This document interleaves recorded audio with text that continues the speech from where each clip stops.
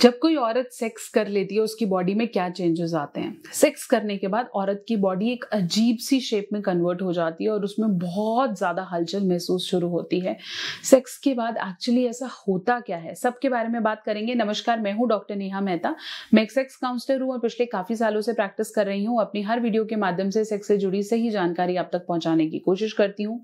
आज मैं बात करने वाली हूँ सेक्शुअल स्टिमुलेशन मतलब एक्चुअली इंटरकोर्स के बाद फीमेल की बॉडी कैसा महसूस करती है और क्या क्या स्टेजेस होते हैं डिटेल में मुझे पता है आप ये वीडियो अंत तक देखने वाले हैं तो इस चैनल को अगर आप नए हैं तो सब्सक्राइब करना नहीं भूलें। वीडियो को लाइक करें शेयर करें। अपनी गर्लफ्रेंड से ज़रूर पूछ सकते हैं क्या वो ऐसा महसूस करती हैं जब आप उनके साथ करते हैं या अपनी वाइफ के साथ। तो वीडियो शेयर करने लायक भी है।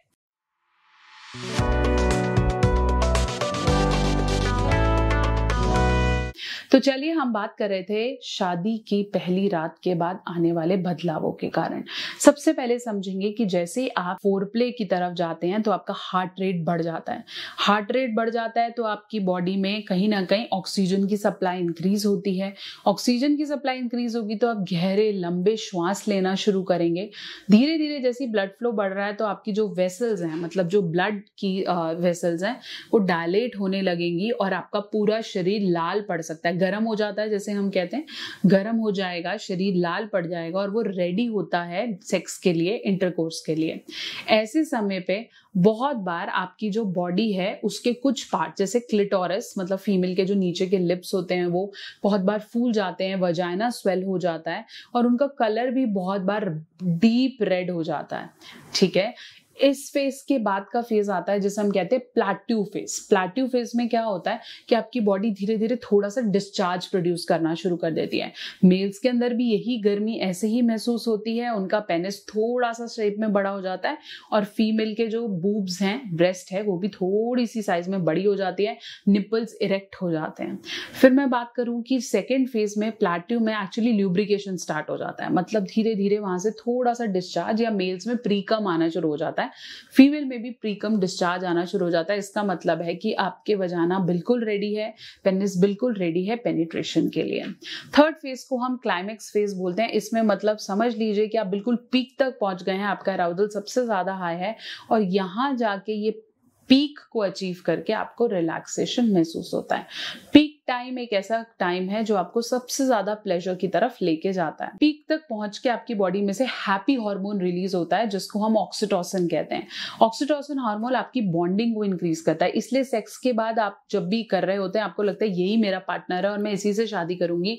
यही सब कुछ है, क्योंकि वो आपकी बॉन्डिंग को इंक्रीज करता है। सेक्स के बाद अल्टीमेटली आपको ऐसा लगता है कि yes she is the right one और ही is the right one last phase को हम रेजोल्यूशन फ़ेज़ बोलते हैं। रेजोल्यूशन फ़ेज़ का मतलब है कि आपकी बॉडी अब बिल्कुल वापस आ रही है।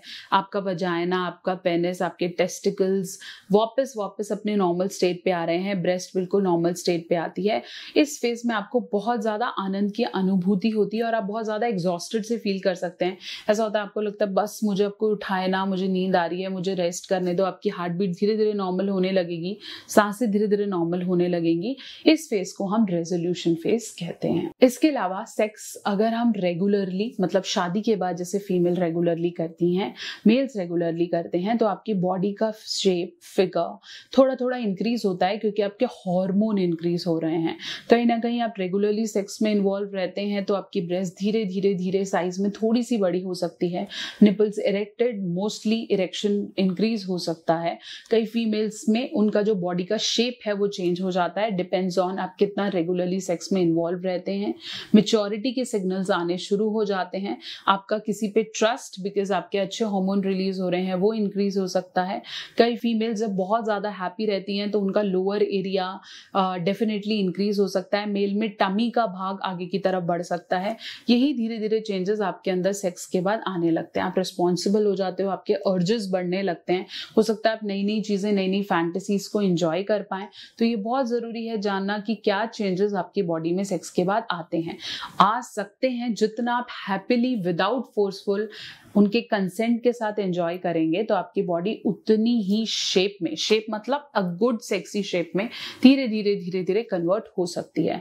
That's why couple who keeps happy थोड़ा थोड़ा वेट गेन भी कर लेते हैं और कुछ एरियाज़ में उनका साइजेस बढ़ने भी लगते हैं। आशा करती हूँ मेरी वीडियो आपके बहुत से डाउट्स को क्लियर कर पाई है। बहुत जल्दी एक और वीडियो लेकर हाजिर होते हैं। तब तक के लिए अगर आप इस चैनल पे नए हैं तो इसे सब्सक्राइब करना नहीं भूलें। साथ साथ हमारे दोनों नए चैनल लवोलॉजी सीखो और साइकोलॉजी सीखो को ज़रूर सब्सक्राइब करें, क्योंकि उसमें बहुत सारा मेंटल और सेक्शुअल हेल्थ कंटेंट लेकर मैं आपके साथ आ रही हूँ। कोई और टॉपिक है, उसे कमेंट सेक्शन में लिख भेजिए। और हमारी आने वाली वीडियोस का इंतज़ार करने से पहले बेल आइकन को ज़रूर प्रेस करें ताकि सारे नोटिफिकेशन आपके पास पहुँच सकें।